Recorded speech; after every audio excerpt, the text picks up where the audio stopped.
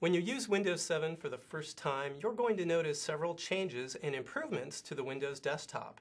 Hi, I'm Andy Sweet, a writer on the Windows team, and for the next five minutes, you're going to get a guided tour to some of the biggest changes, including an improved taskbar, jump lists, which are a new way to get to the files that you use most often, and some tricks for arranging all of those open windows on your desktop. Let's start with the taskbar. You'll see that the taskbar buttons are larger now, so the text is turned off for a cleaner look.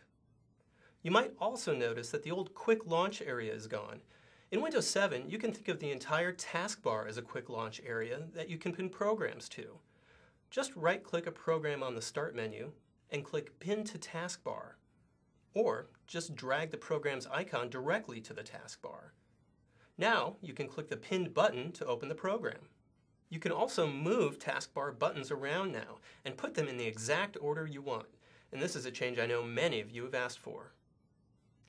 To get to your files, you might be looking for the old My Recent Documents or Recent Items list on the Start menu. There's something better now. They're called jump lists. These are short menus that help you quickly get to those files that you use the most. Remember how My Recent Documents in Windows XP showed a jumble of different types of files? Well, jump lists also show you recent files, but now they're organized by program.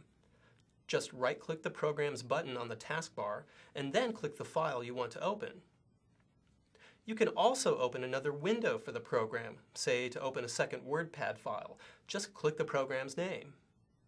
And when you're done with that program, you can click Close All Windows.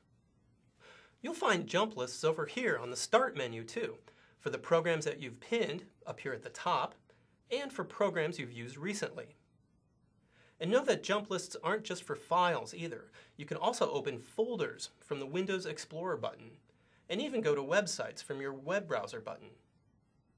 But maybe the best thing about jump lists is that you can pin your favorite items to them. To pin this to-do list that I update every day, I'll open the jump list for the program, point to the file under Recent, and then click the push pin. Now it's pinned to the top where I can get to it easily. You can change the order of your pinned items and easily unpin an item. Just click the push pin. And don't worry, you didn't delete it, you just removed it from the list. You can right-click a recent item to remove it from the list as well. Now, you've seen how jump lists are an easy way to open your files. Another improvement lets you take quick peeks at those open files. This can help you find the ones you're looking for more easily, especially when you have many files open at once. So take a look here. I don't even remember all of the files I have open. But I can point to a program on the taskbar, and now I see previews of all of the files I have open for that program. If you want a closer look, point to one of the previews, and you'll get a quick peek at the file, even if it's buried under other windows. And you can click the preview to bring the window to the front. Now, to get a quick peek at the desktop, you'll still want to use the Show Desktop button, but, and here's another change, it's over here now, in the corner, so it's an easier target to hit. You don't have to aim right next to the Start button. Just point your mouse all the way to the corner. And did you notice that? There's no need to click anymore. Move your mouse away, and the files reappear. You can still click the button too, just like in Windows XP, to minimize the open files. Now, these little things here on my desktop are gadgets. They're a fun way to get information, like weather updates or news headlines. Windows Vista users will notice that there's no sidebar any longer. Now you can put gadgets anywhere, but they're not on by default. Right-click the desktop, click Gadgets, and then drag them anywhere you like. You can click here to find more free gadgets on the Windows website. The taskbar and jump lists are among the most noticeable changes, but I want to show you some less obvious improvements. They're kind of fun and, as you'll see, useful ways to arrange the open files and folders on your desktop. When you drag open windows to the edge of the desktop, you'll notice something that's a bit surprising at first. They now snap into place. Try dragging a window to one side or the other.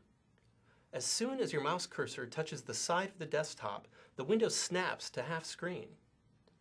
Drag it again, and it goes back to its previous size. This is great for comparing two files side by side. or for moving files between two folders. You can snap long documents or email messages vertically to make them easier to read. Just resize the window towards the top or towards the bottom of the desktop. And you can maximize windows completely by dragging them to the top of the desktop. When you have too many open windows on your desktop, try this to focus on a single window. Click the top of a window and then shake it by quickly dragging it back and forth.